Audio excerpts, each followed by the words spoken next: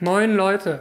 Diese schwedische Studie kam zu dem Ergebnis, dass wenn man die gesamte Produktionskette von E-Autos betrachtet, die CO2-Bilanz gar nicht mal so gut ist.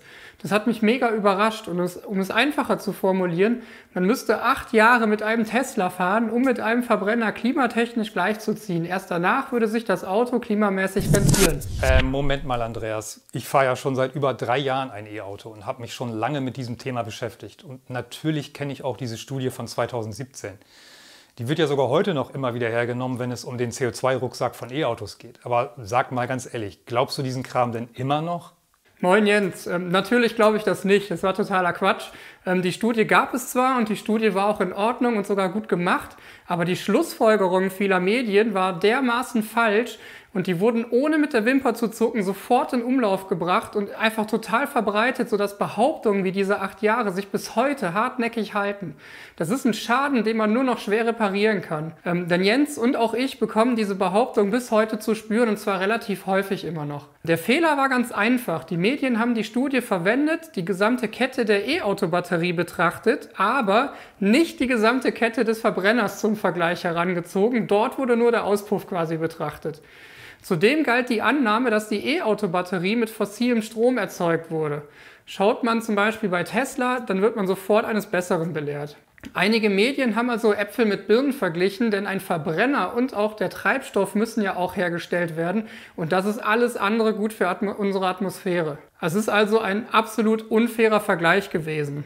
Ähm, und die Autoren der Studie haben sich schon mehrfach von den Behauptungen der Medien distanziert. Schauen wir uns also mal an, wie es wirklich um den CO2-Fußabdruck von E-Autos steht und wir schauen uns die gesamte Herstellungskette an und das in diesem Jahr, also 2021. Bevor wir loslegen, ähm, erstmal cool, dass du dabei bist, Jens. Freue mich halt mega wieder mit dir ein Video zu machen und ähm, deinen Kanal Move Electric kann ich jedem E-Auto begeisterten Menschen einfach nur ans Herz legen. Richtig spannend und informativ. Also schaut es euch an, es lohnt sich. Jens und ich stellen euch heute genau zwei wissenschaftliche Arbeiten vor, die das Ganze mal ordentlich verglichen haben. Und fangen wir mit der ersten an. Diese aktuelle Studie vom ICCT von 2021 kommt nämlich zu einem völlig anderen Ergebnis. Einfach gesprochen bedeutet das, es gibt mit Verbrennungsmotoren keinen Weg aus diesem CO2-Problem, das wir momentan haben. Das ist schon eine sehr harte Aussage.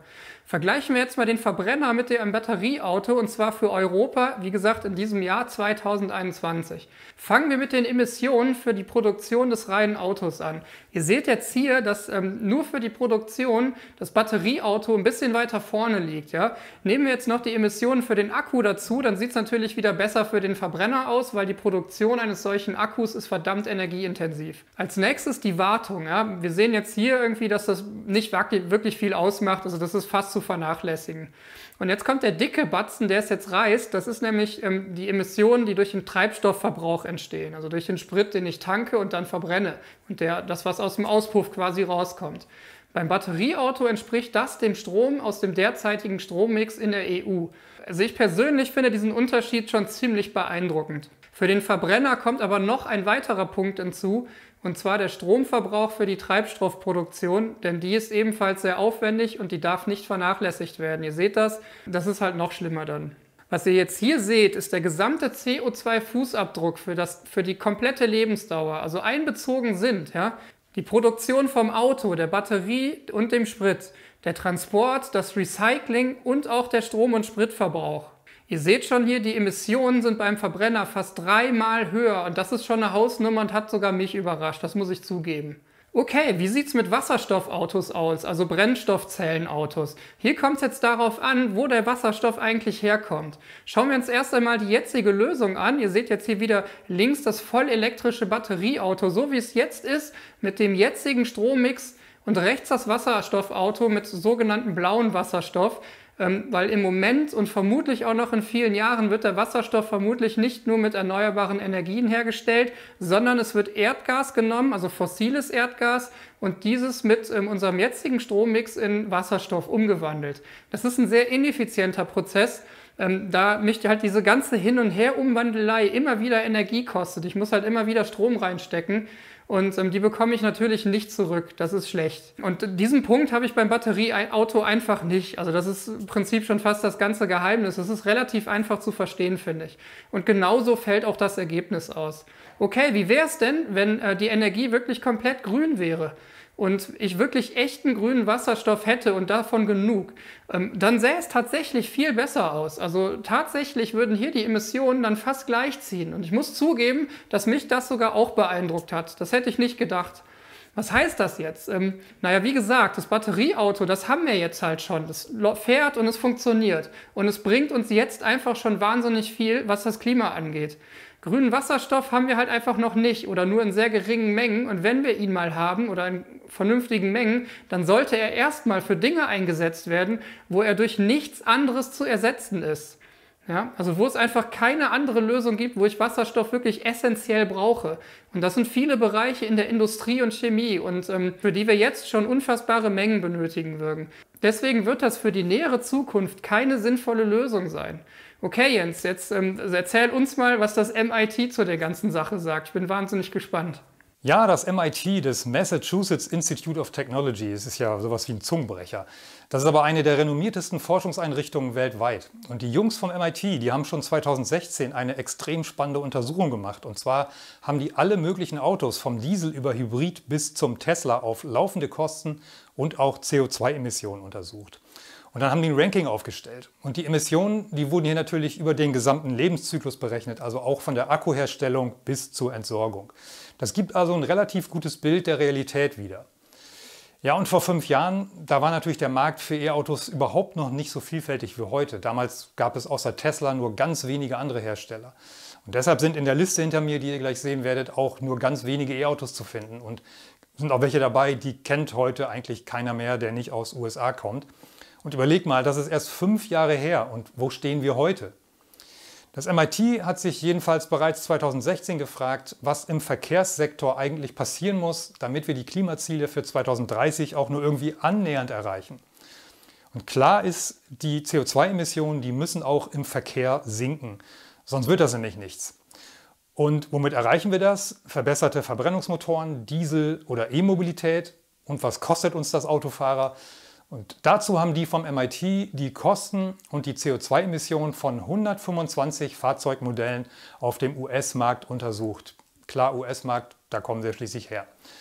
So, und was das Ergebnis ist, das zeige ich euch gleich hier hinter mir. So, und die Ergebnisse vom MIT, die seht ihr jetzt hier auf diesem Monitor. Das ist im Prinzip ein Diagramm von ganz vielen verschiedenen Automodellen und jeder Punkt oder jedes Dreieck, jedes, jeder, jedes Quadrat ist ein Auto.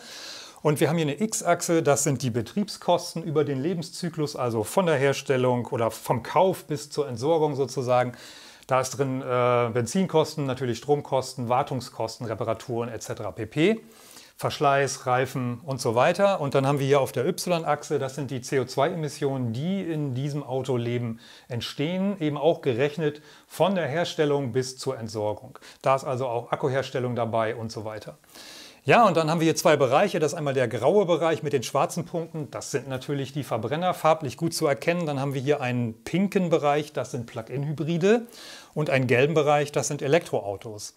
Und diese Strichlinien hier, das sind im Prinzip CO2-Grenzen. Wir haben nämlich die obere Strichlinie, das ist sozusagen das, was in USA 2016 wohlgemerkt ähm, durchschnittlich auf der Straße war. Und die, da liegen die CO2-Emissionen auf das gesamte Autoleben pro Kilometer am Ende bei 350 Gramm CO2.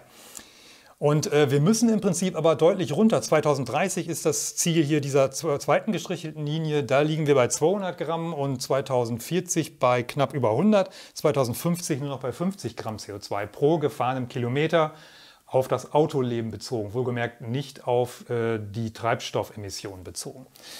Äh, was man hier schön sehen kann, ist halt, dass diese gelben Quadrate, das sind alles Elektroautos. Das ist dann sowas wie ein Toyota Prius, ein Nissan Leaf, ein Ford Focus Electric, wer kennt ihn noch? Äh, Chevrolet Bolt, äh, BMW i3, wir haben hier ein Model S mit 60 Kilowattstunden Akku damals. Und wir haben hier ein Tesla Model 3, das ist eine frühe Schätzung, das war ja 2016 noch nicht so weit. Und äh, wir sehen also, dass auch von den Kosten her hier dieser Bereich der Elektroautos relativ weit unten ist, mal mit Ausnahme vom Tesla Model S. Ähm, und CO2, ganz klar, die erreichen sogar fast schon 2016 wohlgemerkt das 2040er CO2-Ziel. Und das mit dem amerikanischen Strommix, der ja nun alles andere als schwerpunktmäßig regenerativ war zu dem Zeitpunkt und auch heute noch ist. Ja, man sieht ganz deutlich, dass die Verbrennungsmotoren alle deutlich über diesen Zielen liegen und ähm, ja, den Vogel schießen so ein bisschen, was die Wartungskosten angeht, neben Tesla, Mercedes-Benz E350 und BMW 528i ab. Und die höchsten CO2-Emissionen, wen wundert's, Chevrolet Suburban, Jeep äh, oder Ford F150, Jeep Wrangler, diese ganzen SUVs, diese Boliden aus USA mit dem wahnsinnigen Spritverbrauch. Ja, die spielen sich hier oben ab. Ne? Und übrigens, was die Kosten angeht, Spritverbrauch, da müsst ihr ja überlegen, in den USA kostet ein Liter Benzin heute 2021 89 Cent. Und wir liegen hier, glaube ich, bei 1,70 Euro im Moment. Also das ist quasi das Doppelte an Benzinkosten. Das heißt, die, die Kosten in Europa für diese ganzen schwarzen Punkte, die würden sich nochmal deutlich nach rechts verschieben. Und da lassen einfach die Elektroautos sowohl was CO2-Emissionen angeht, als auch was die Betriebskosten über die Lebensdauer angeht, alle Verbrenner meilenweit hinter sich. Also hat man schon vor fünf Jahren gesehen, dass an Elektromobilität kaum ein Weg vorbeiführt, wenn wir die Klimaziele irgendwie erreichen wollen.